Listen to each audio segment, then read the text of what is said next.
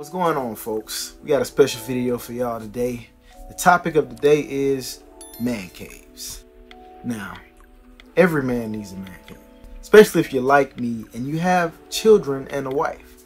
You just need your own little space where you can get away from. Because, you know, although you love your kids, you love your wife, every now and then you just want to go somewhere else. And there's nothing wrong with that.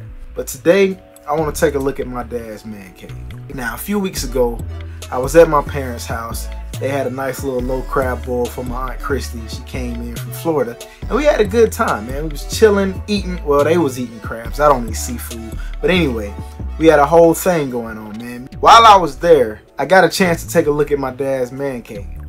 So, without further ado, let's just go right in.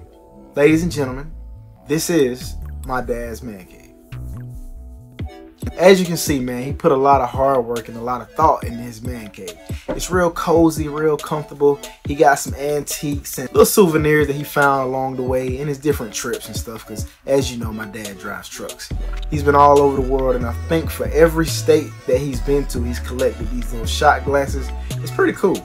And just honestly, it really just looked like another house that's out in the yard. It's real nice, real cool.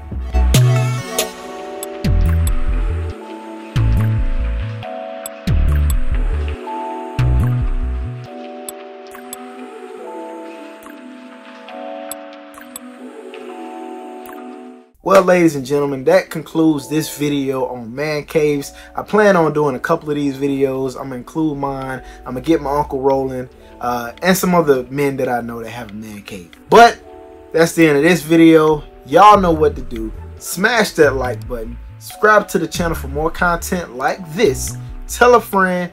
Tell a friend. I'm out.